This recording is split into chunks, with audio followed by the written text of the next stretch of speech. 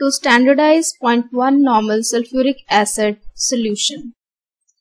Standardization of H2SO4 Sulfuric acid is a secondary standard with the molecular formula H2SO4.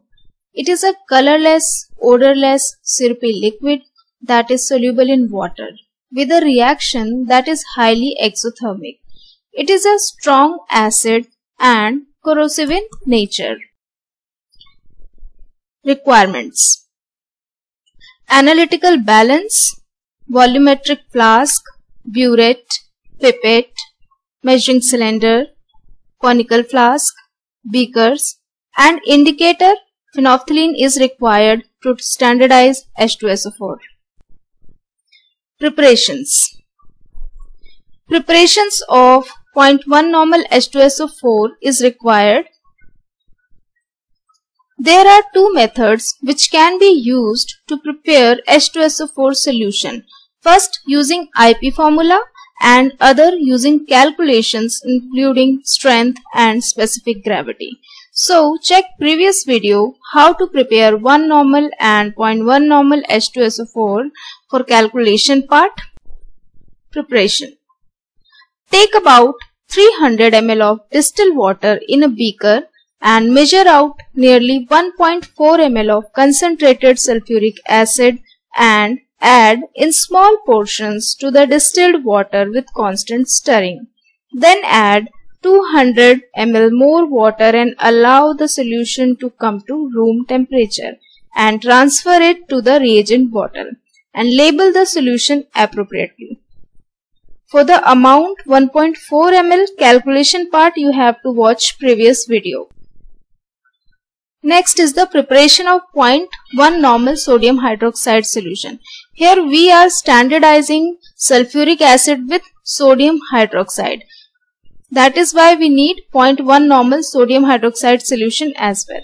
Weigh about 2 gram of sodium hydroxide on a watch glass and transfer it with the help of funnel to a reagent bottle containing about 300 ml of distilled water.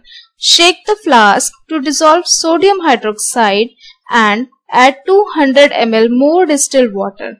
This will give a solution of sodium hydroxide of approximately 0.1 normal strength and label the solution appropriately.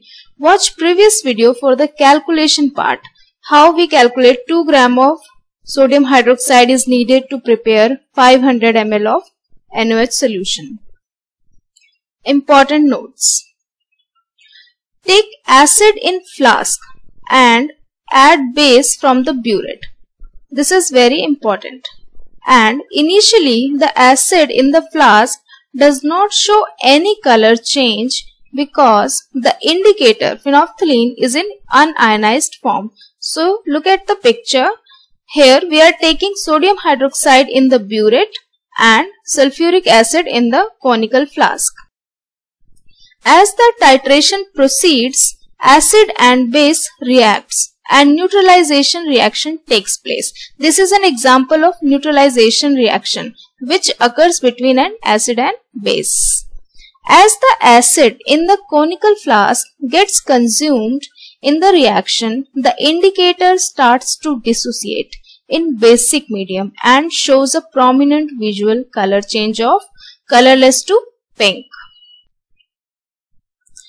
As the acid in the conical flask gets consumed in the reaction, the indicator starts to dissociate in basic medium and shows a prominent pink color. Look at the picture. Colorless to pink color at the end point of the titration. Reaction between sodium hydroxide and sulfuric acid. Look at the reaction here sodium hydroxide reacts with sulfuric acid to form sodium sulfate and water. There are 2 moles of H plus ions supplied by each mole of sulfuric acid in the reaction since 1 mole of H plus is consumed per mole of sodium hydroxide so 1 mole of sulfuric acid reacts with 2 moles of NaOH. Here, primary standard is sodium hydroxide. Why? because it is already standardized to know how to standardize NaOH please watch previous video. H2SO4 solution normality is to be determined here because we have made approximately 0.1 normal H2SO4 solution and to use it as a standard we have to standardize it. Now titration part. Step 1. Fill the burette with NaOH solution carefully so that no air bubbles got entrapped inside the burette. Now adjust the meniscus of the solution in the burette to 0.0 reading. Look at the image. We should check the meniscus for 0.0 reading. Step 2. Take 25 ml of sulfuric acid solution in conical flask with the help of pipette. You can change the volume also. Uh, in place of 25 ml, you can take 10 ml, 15 ml in the conical flask. And to ensure the right quantity is transferred into the flask, always use pipette. Don't use measuring cylinders because it is not accurate as pipette and it may lead to errors. Step 3 Add 2 to 3 drops of indicator into the acid solution. The solution will be colorless as indicator is undissociated form. Step 4. As the titration proceeds, the acid in the flask gets consumed in the reaction. When whole acid got consumed, the indicator is a weak acid and it dissociates to react with the base which is NaOH and on dissociation the end point is indicated by the pink color of the phenolphthalein. As you can see in the picture from colorless to pink color is showing its end point. Step 5. Take at least 3 consecutive readings for accurate results. Average volume is used in calculation to minimize the error. The difference between the two readings should not be more than 0.5 ml. And look at the observation table which you, you will get like this. Initial reading suppose we are taking as 0 and final reading comes out to be 25 ml or 25.1 uh, ml or 24.9 ml. Then we can take the average of the volume consumed of NaOH. Now calculation part.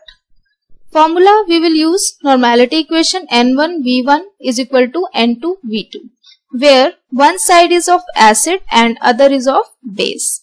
Let's take N1 is equal to the normality of sulfuric acid solution and V1 is the volume of sulfuric acid taken. N2 is the normality of NaOH solution and V2 is the volume of the NaOH solution consumed.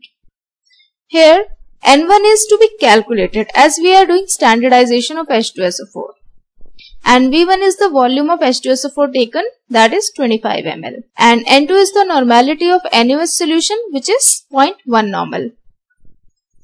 V2 is the volume of NaOH solution consumed.